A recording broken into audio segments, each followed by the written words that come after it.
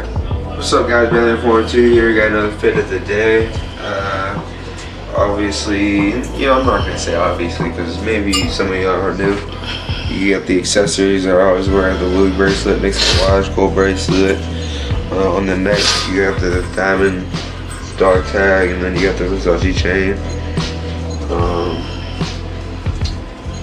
your neck, it's getting colder, so I like Fendi Gold. Some black Levi's. I'm on the Levi game now. And uh, some red Tims that you guys have seen. The red Tims. And uh, yeah, that's the video. Thanks for watching, y'all. Stay tuned for more.